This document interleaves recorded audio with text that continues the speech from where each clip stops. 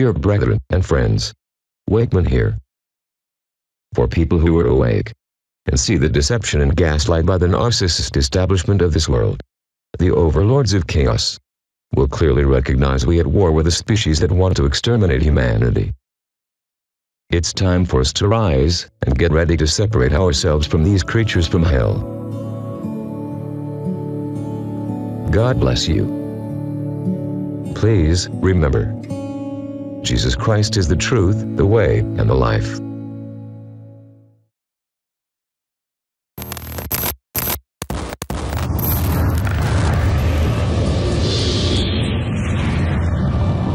The Secret Covenant.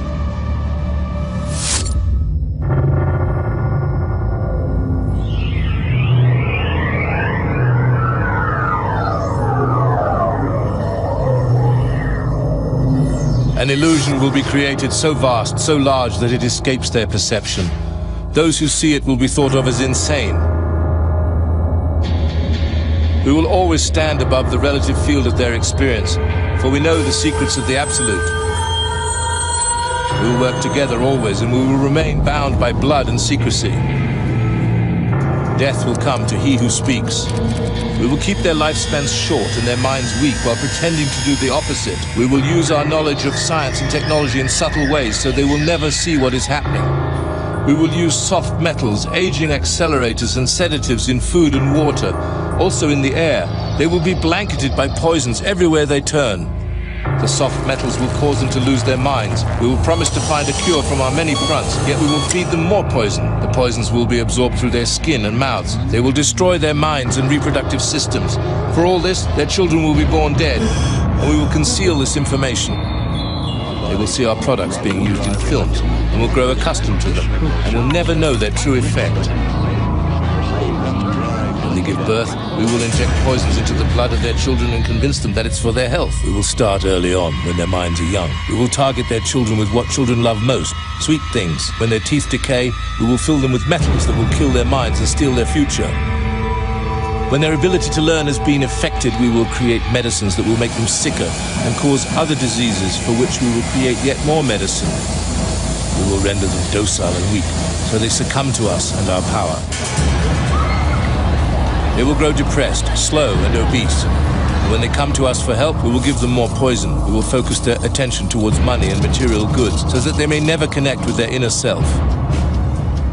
We will distract them with fornication, external pleasures, and games so that they may never be one with the oneness of all. Their minds will belong to us, and they will do as we say. If they refuse, we shall find ways to implement mind-altering technology into their lives. We will use fear as our weapon. We will establish their governments and establish opposites within. We will own both sides.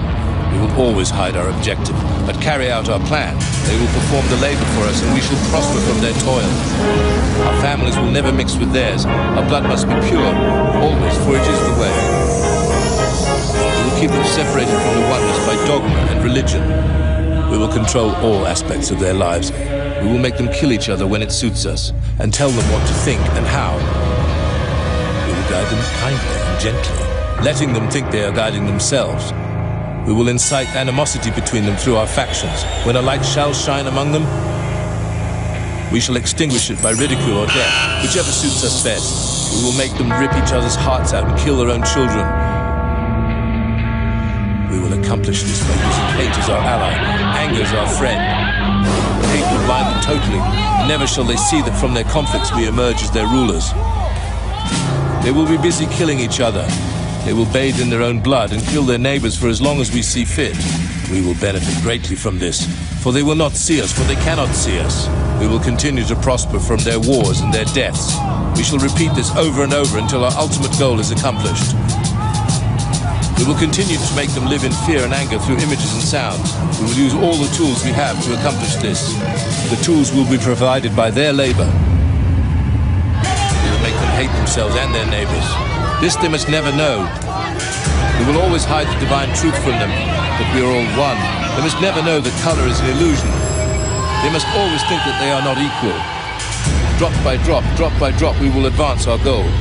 We will take over their land, resources, and wealth to exercise total control over them. We will trick them into accepting laws that will steal the little freedom that they have.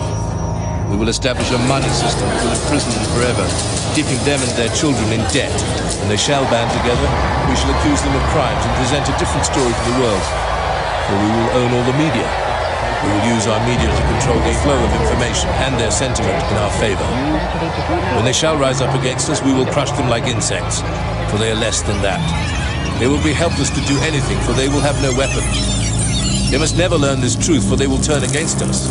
For their work, they will be rewarded with earthly things and great titles, but never will they become immortal and join us. Never will they receive the light and travel the stars. They will never reach the higher realms, for the killing of their own kind will prevent passage to the realm of enlightenment. This they will never know. The truth will be hidden in their face. It will be so close that they will not be able to focus on it until it's too late. Oh yes, so grand will the illusion of freedom be that they will never know that they are our slaves. When all is in place, the reality that we have created from them will own them. This reality will be their prison. They will live in self-delusion. When our goal is accomplished, a new era of domination will begin. Their minds will be bound by their beliefs, the beliefs we have established from time immemorial. But if ever they find out that they are equal, we shall perish.